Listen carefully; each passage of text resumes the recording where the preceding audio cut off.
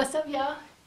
I'm finna share with you a spoken word that I wrote a little while back and I hope that you love it. I hope you get the vision of it. I hope it hits you in your heart right where it needs to. Um, it's just a little story about the anger that I used to face growing up. I had really bad anger problems and it's kind of just like a small testimony of where I was with my anger to where God brought me through it with my anger and all this in between. It's not that long, so I hope you love it. If you do, like it, thumbs up it, subscribe, whatever you want to do, comment. Anger, rage, fury, blackouts, things get blurry. Irate, filled with hate and the passion to replace mistakes I maintain a bullseye on any pain. I refrain from emotion. Never leave my heart open, I'm hoping for help. These walls have more holes than my heart has ever felt.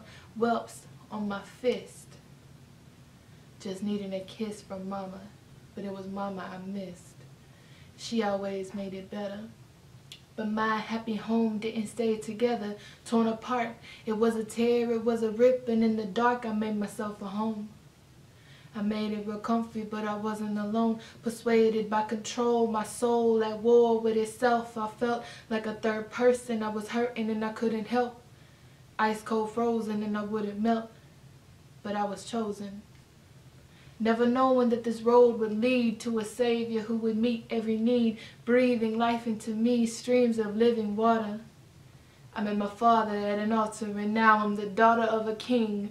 My soul rejoices as I sing. I sing with this mouth that was foul, but now I'm redeemed. He brings joy in the morning. He is forming me.